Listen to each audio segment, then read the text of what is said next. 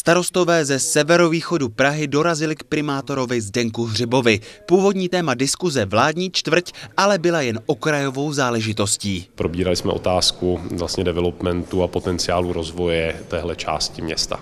To téma vládní čtvrtiny nebo toho rozvoje na uh, té stanici metra Letňany je záležitost, která nemá zatím jasný závěr v tom jednání se státem. Nevíme, jestli to nakonec uh, tak bude nebo nebude. Starostové toho severovýchodního sektoru jako vnímají určitou jako podinvestovanost této části Prahy v porovnání třeba se západní neboli tím West End.